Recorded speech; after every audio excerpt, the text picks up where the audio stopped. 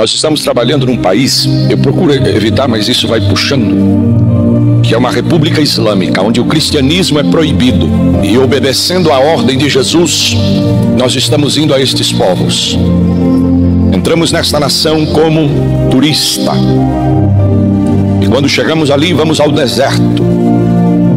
500 quilômetros dentro do deserto, aonde há um povo que está esperando a palavra de Deus, mas eles estão tendo revelações de Cristo Jesus no deserto. O Jornal Mensageiro da Paz trouxe uma edição falando das revelações de Cristo aos povos no deserto.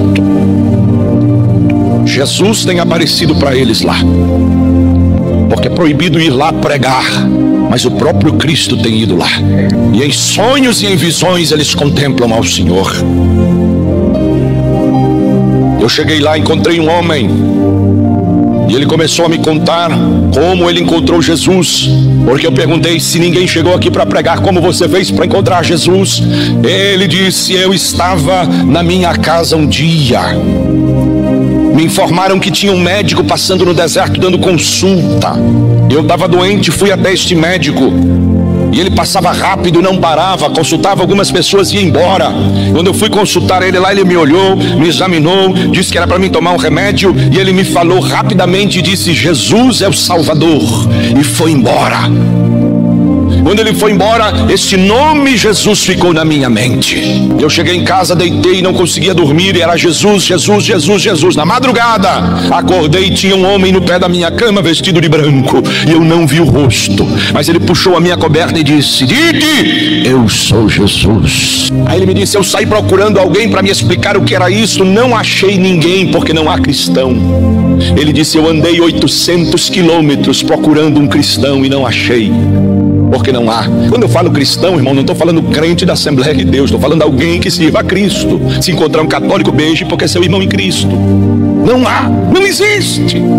Ele disse: Eu andei 800 quilômetros e fui à capital. Lá encontrei um estrangeiro, também médico, que era cristão. Falei para ele, ele ficou com medo, porque é um país proibido, mas eu insisti e ele me falou de Jesus. Deu um novo testamento no nosso idioma. E eu me enchi de Jesus. Aleluia. Ele pegou aquele Novo Testamento sem pensar nas consequências e saiu pregando para todo mundo, irmão, num país proibido. O que aconteceu? A polícia pegou ele. Pegou ele e prendeu, mas nisso ele já tinha ganhado mais três para Jesus. Agora os três foram para a cadeia. E ele me disse, pastor, fui, pra, fui preso e da prisão me levaram para o deserto para tortura. Fui para o campo de torturado. Quando eu cheguei ali, eu chorei, irmão, ouvindo ele falar. Disse: eles começaram a nos torturar, bater em nós para que a gente parasse com aquilo, como fizeram com Paulo. Pare de pregar nesse nome, pare de anunciar este nome. E eles disseram: Nós não podemos, porque ele já entrou aqui dentro. Ele vai sempre estar aqui dentro. Eles bateram neles, quebraram ossos dele, ele mostrou os ossos quebrados, a cravícula quebrada. Ele disse: pare de pregar. E o carrasco batendo, ele dizendo: não posso parar. Quando ele estava apanhando, ele disse que teve uma visão, se viu Jesus pendurado nela gritou para os companheiros dele, disse: Eu vejo a cruz, eu vejo Jesus pregado nela. E uma voz disse a ele: Aguenta firme, porque o teu Salvador sofreu mais. Ele disse aos colegas: Aguentem aí, estamos vendo aqui Jesus pregado.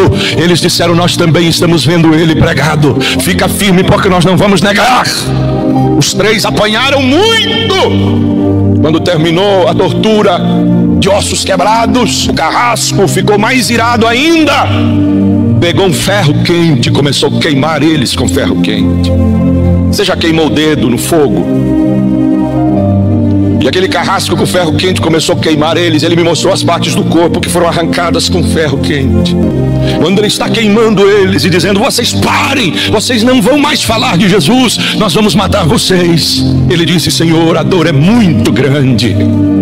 A queimadura é doída demais. Eu não vou aguentar, eu vou morrer. E ele começou a enfraquecer e a desmaiar. Quando ele começou a enfraquecer, ele disse: Brasileiro, eu senti literalmente que quando eu estava enfraquecendo, uma mão me tocou. E eu senti as mãos de Jesus fazer massagem no meu corpo. Irmão, isso é só para crente. Eu senti as mãos de Jesus tocar no meu corpo.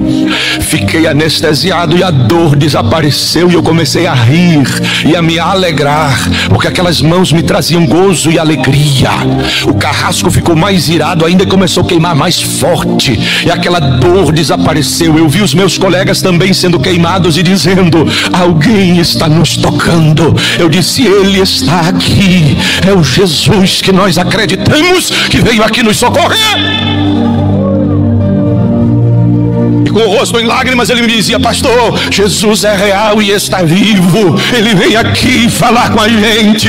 Jesus é real e está vivo. Lá eles não têm igreja, nunca tiveram, não tem pastor, não sabe o que é, não tem coral, não tem banda, não sabem nada disto. Eles têm tudo. Jesus. Jesus. Aleluia. Aleluia. São os nômades que estão ouvindo a voz do Evangelho. E quando ouço isso, quando vivo isto, minha alma salta dentro de mim e dizendo: Ele é real, Ele está vivo, Ele é real e Ele está vivo. Você pode adorar Ele nesta manhã. Ele é real e Ele está vivo. Ele é real e Ele está vivo. Nunca me pediram nada, só me disseram: Pastor, Ele é real e está vivo.